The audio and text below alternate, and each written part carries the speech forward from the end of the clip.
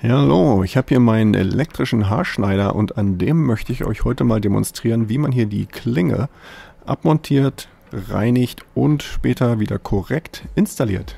Also ich fange damit an, dass ich hier diese beiden Kreuzschlitzschrauben rausdrehe und äh, diese beiden Schrauben halten hier die untere Klinge fest. Und sobald die Schrauben hier entfernt sind, kann man die Klinge dann ganz einfach abnehmen und da sehen wir hier schon mal einiges an Hahn und Öl, die hier zusammenkleben. Und das können wir dann schön reinigen.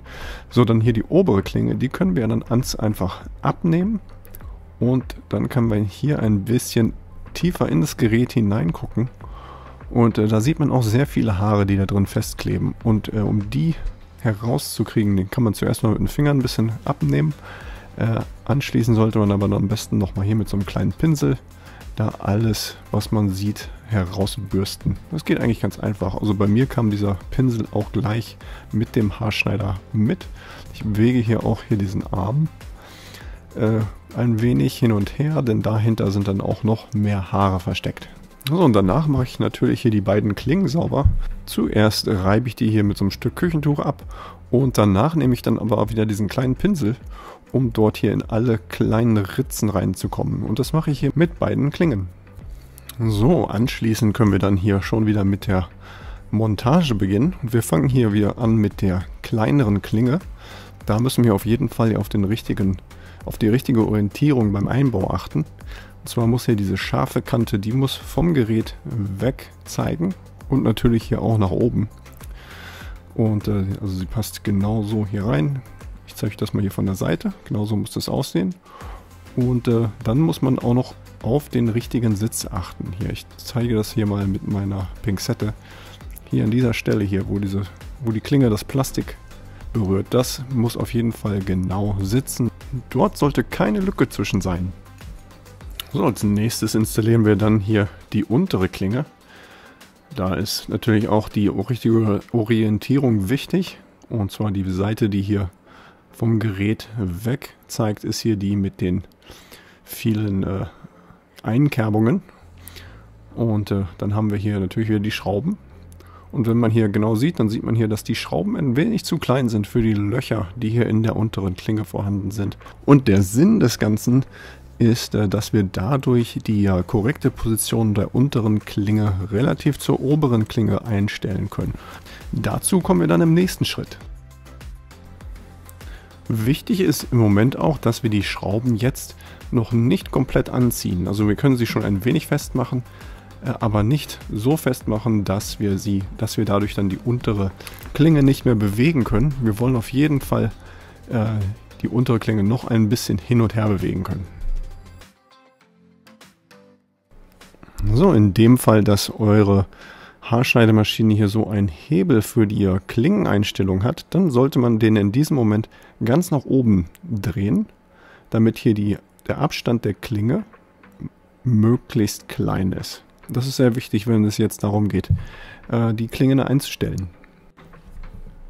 So, nun beginne ich jetzt hier mit der horizontalen Einstellung der beiden Klingen. Und dazu gucke ich hier auf die linken Zähne von beiden Klingen, also von der unteren Klinge und der oberen Klinge.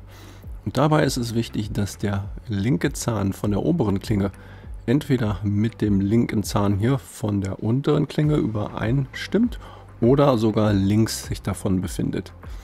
Auf keinen Fall sollte sich dieser obere Zahn äh, auf der rechts von dem unteren Zahn befinden.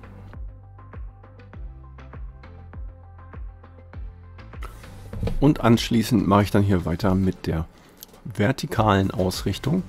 Dabei ist es sehr wichtig, dass wir das korrekt machen, denn äh, wenn das hier falsch ist, dann würden, würde hier Gefahr laufen, dass wir uns beim äh, Benutzen der Maschine hier richtig verletzen. Also hier auf jeden Fall äh, darauf achten, dass das richtig ist. So, und um die Distanz der beiden Klingen zueinander äh, richtig einzustellen, finde ich es am einfachsten, wenn man hier so von der Seite guckt, dann sieht man hier genau, dass hier der Abstand genau überall gleich ist und der sollte zwischen 0,8 und 1,6 mm betragen.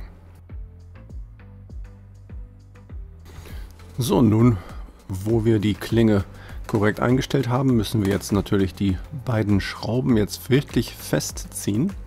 Äh, dabei natürlich darauf achten, dass sich die beiden Klingen nicht wieder ver verschieben und dadurch die Einstellung verloren geht. Deswegen habe ich hier mit meiner rechten Hand habe ich hier den Daumen so von hinten gegen die Klingen gedrückt, während ich die äh, Schrauben hier richtig fest anziehe äh, und dadurch verschiebt sich die Klinge eigentlich nicht. So und als letzten Schritt trage ich dann hier noch etwas von diesem Haarschneideröl auf die Klingen auf. Das ist wirklich wichtig, damit die Klingen nicht unscharf werden und damit sie möglichst lange halten. Und das trage ich deswegen jetzt auf und auch jedes Mal, wenn ich die Maschine benutze. Und äh, das geht hier ganz einfach. Man nimmt einfach nur ein wenig Tropfen, also zwei bis drei Tropfen mache ich hier auf die Klingen, während die Maschine läuft. Und dann verteilt sich das Öl richtig schön gleichmäßig. Und wenn wir hier ein wenig Überschuss haben, dann wische ich den einfach mit einem Küchentuch ab. Und das war's auch schon. Ich hoffe, dieses Video war hilfreich. Falls ihr irgendwelche Fragen oder Anmerkungen habt, dann hinterlasst unten einfach einen Kommentar und äh, vergesst nicht meine anderen YouTube-Videos anzusehen.